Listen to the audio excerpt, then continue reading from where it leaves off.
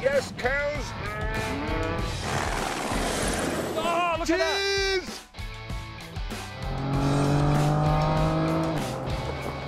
We've been outwitted by cows.